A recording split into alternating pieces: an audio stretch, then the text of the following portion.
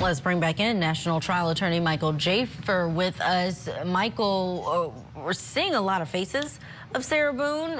What do you think the jury is going to see when she is at trial representing herself? Uh, the heinousness of that. Well, first of all, she, this is not a person who's making rational decisions. Uh, the sad part of it all is that she has some severe mental health issues. These are mental health issues that led to this death of this person, uh, and they're going to lead to her conviction. The heinousness of this is grotesque.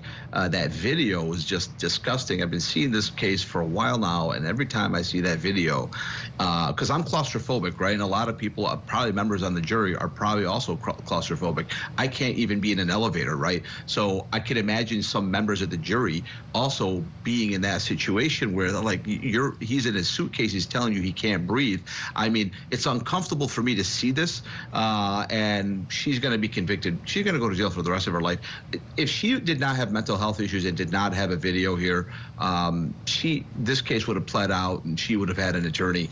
Uh, but I'm glad there's a video to to bring light to what really happened, uh, because this man suffered. I mean, he suffered in the worst way. Um, I wish I could go back in time and grab him by the lapels and say, "Don't get in that briefcase, dude. Like, what are you doing?" I just don't know. Some of these people do these things, he allowed himself to be zipped up in this uh, suitcase. So um, I think when she defends herself, it's going to be uh, uh, her talking to the jury about how people have been impolite to her. She fired what eight lawyers, and she said they just were not being nice to her.